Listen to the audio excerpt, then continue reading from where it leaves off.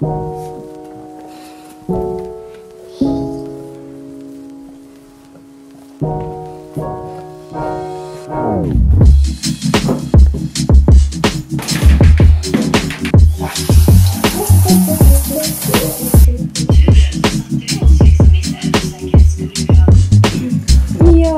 vi har en, sån gnällig liten pojke idag. Som följer efter mig. Kan du berätta för mig då vad du vill? För just nu springer du bara efter mig och gnäller. Va? Det är verkligen så, här så himla typiskt med ragdolls att börjar man prata med dem så kommer de prata massa. Ehm, och du vill inte vara där. Nej. Lite space. Eh, så då blir det så här att när de växer upp så bara går de runt och jamar för ingenting. Liksom. Ja, du bara går runt och purrar så. Nu gör du helt så. Jag har velat ha ragdoll sedan jag var tio år. För att det var i stallet eh, så fanns det en ragdoll som såg ut som Alfons. Nej, den kanske såg ut som dig. Jag kommer inte ihåg. Ja. De ska alltid vara med, det är det som är så mysigt. Eller hur Kasper? Du, du vill alltid vara med så. Oj, oj, oj, oj. Han blir helt så. Det helt så när man pratar med dig? En eh, god morgon på er, säger vi. Alfons, han eh, ligger nog och sover någonstans. Fortfarande, han har inte gått upp än. Han blir alltid rulla så här när man ger honom uppmärksamhet. Ja, du blir så, du blir så. När man pratar med dig så blir det hit till dig. Oj, nu hörde jag en nys. Det var nog Alfons. Nämen, hallå! Oj, oj, oj! God morgon på dig! Vart har du legat? Har du legat i fönstret? Nej men vad är det med dig? Jaha, du får ju berätta.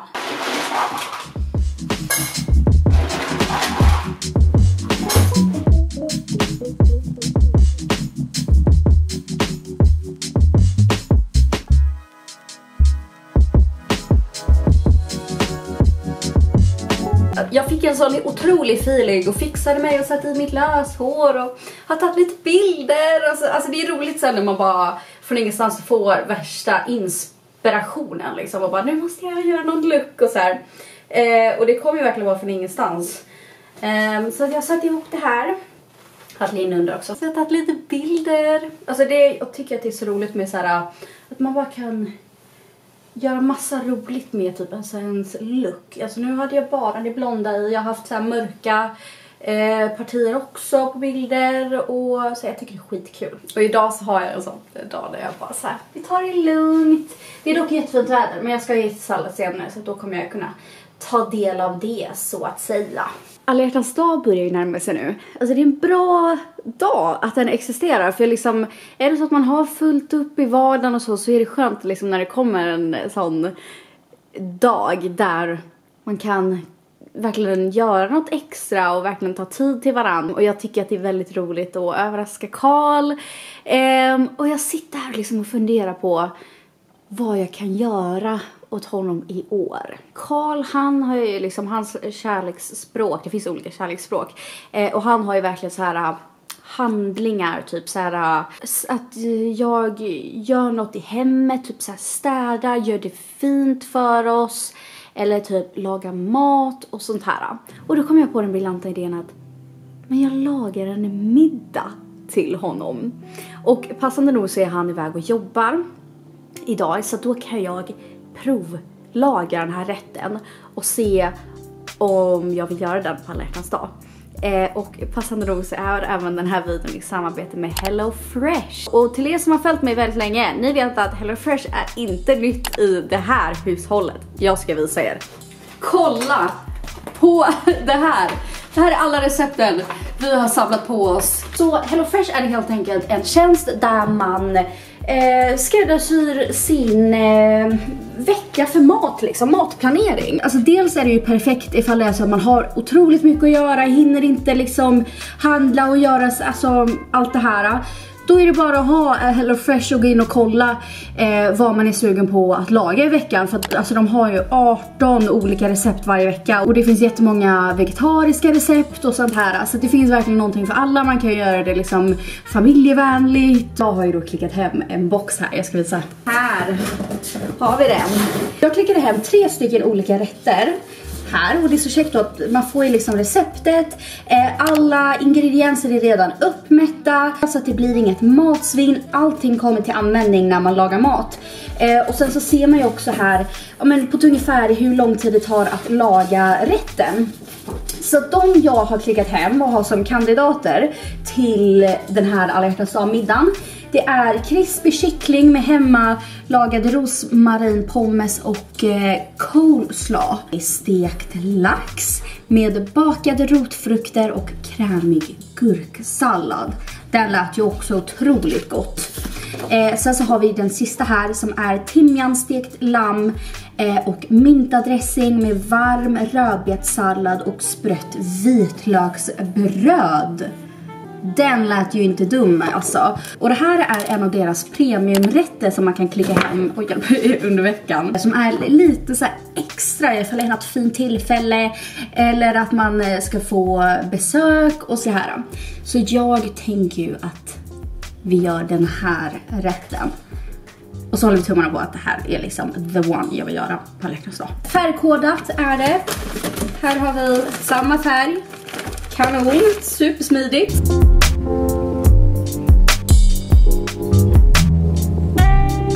Sak som är väldigt bra med HelloFresh det är ju att det inte är någon bindningstid. Så att man kan ju påbörja och avsluta när man vill. Eh, och så är det så att man är iväg någon vecka så kan man pausa. Eller är det så att man ska få besök så kan man lägga på så att det kommer fler portioner. Och är det så att ni blir sugna på att eh, prova HelloFresh så har jag en kod. Och använder ni den här så kommer ni få 30% eh, rabatt på era första två boxar. Sen så är det 20% på era eh, tredje och fjärde boxar. Eh, och detta innebär att sammanlagt så kommer ni få 965 kronor rabatt på era första boxar. Och det här gäller då nya användare. Så trevligt det här ser ut. Det här ska vi rosta i ugnen. Oj!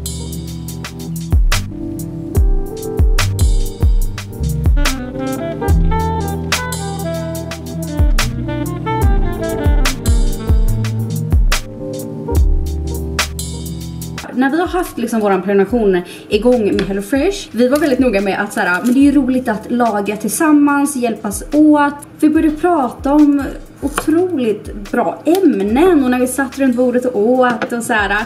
Eh, och det blir också liksom som en, en mysig stund liksom att göra något tillsammans. Det tyckte vi faktiskt var väldigt roligt. Och alltså speciellt när vi själva inte är jättebra så här på att laga mat så var det så käckt att man har ju hela receptet och allt man behöver. Vad vi också tyckte var så himla roligt det var ju att man fick prova så mycket nya smaker. Alltså sånt som man aldrig själv skulle kunna tänka sig. Så att tack vare det har vi fått massa nya eh, favoriträtter som vi lagar jätteofta.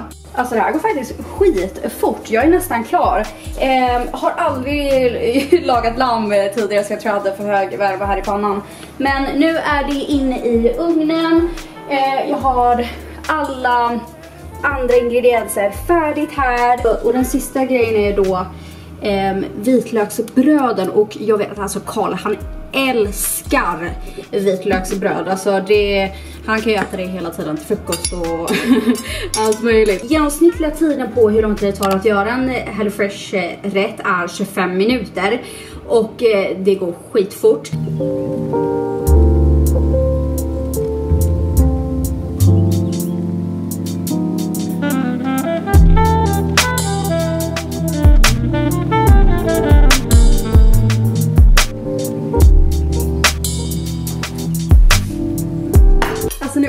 Bara smaktestet.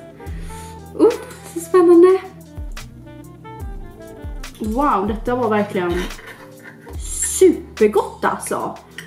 Tänk att jag har lagat detta. Mm, den här yoghurten, åh, oh, den var jättegod, den såsen. Mm, mm, mm.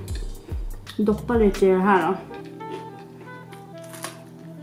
Mm, det var jättegott. Det här ska jag lätt laga till Karl. Han kommer nog bli jätteglad. Så som sagt, är det så att ni är sugna på att eh, prova HelloFresh så får ni inte missa att använda min kod. Eh, som då helt enkelt ger 30% på de, era första två boxar, 20% på era tredje och fjärde boxar. Vilken lyxig lunch jag har haft idag och oj vad bra det blev. Men jag har svett om till ridkläder och ska nu ta och åka till stallet. Och ta hand om min pojke.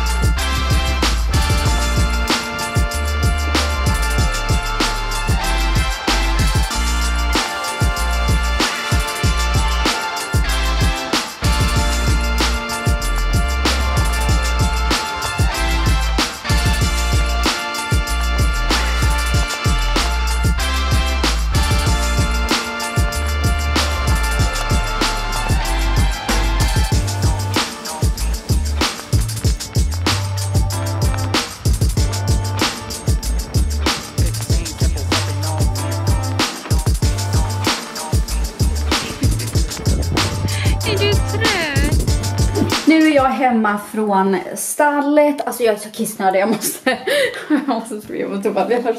Vänta. Så, bytte om också. Men eh, klockan är nu eh, fyra ungefär. Det börjar mörkna nu. Eh, men det är skönt så här på helgerna när man eh, kan ta stallet eh, på dagtid. Eh, för liksom nu har inte jag insläpp på kvällen så att då släppte jag ut honom igen och så. Så att det är skönt. Så har man kvällen fri liksom. Annars så blir- på vardagar så är det liksom var för sig, oj, var för sig som eh, tar in sina hästar liksom. Man tar in sin egen häst, ja. I alla fall. Nej men eh, det gick bra i alla fall. Han har varit lite trött idag men eh, det gick ändå bra för att vara en trött dag. En Meffes trött dag. Så att det blev en kombination med tre galoppsprång emellan typ fyra, tre, ja. Och sen så en eh, övning med studs som är jättebra. Så han eh, lyfter benen, sträck på ryggen och så här bra. En riktigt bra övning faktiskt. Den måste jag göra oftare.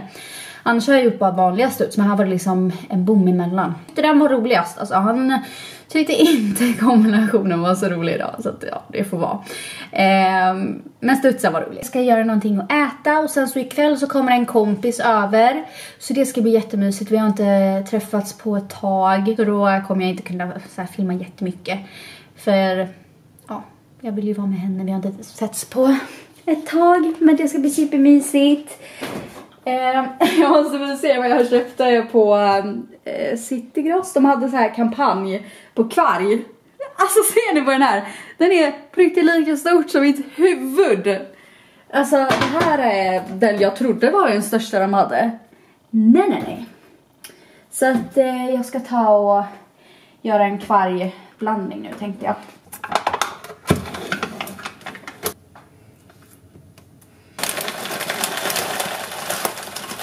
Lite granola också.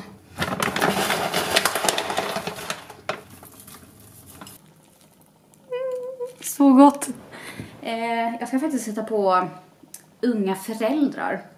Eh, oklart varför jag började kolla på det. Eh, men det är typ underhållande. Inte att jag kan relatera, jag kommer inte ha barn på många år framöver. Men det är riktigt roligt att kolla på. Vad firar vi? Vad firar vi? Vi firar att vi ska flytta till en ny kommun och en ny Kasper. Kasper. Hej. Man kan ju inte vara sinkig.